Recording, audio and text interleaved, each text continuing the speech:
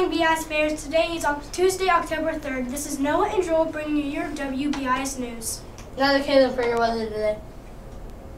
Weather for today will be sunny with a high of 87 degrees and a low of 60 degrees, with a 10% chance of precipitation. Now back to you, Noah and Joel. Today for lunch is orange chicken over rice, California blend, sun splash juice, ice cream cup, and milk. Today's alternative is deli sandwich. Today's act of kindness is thank someone, uh, so, someone for something they did for you. Blackford Youth Basketball Registration Day, Thursday, October 5th. Sign-up sheets will be near the office.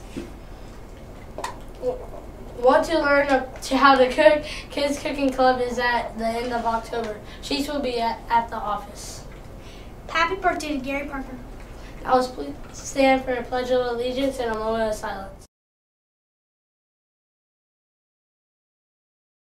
I pledge allegiance to the flag of the United States of America and to the republic for which it stands, one nation, under God, indivisible, with liberty and justice for all.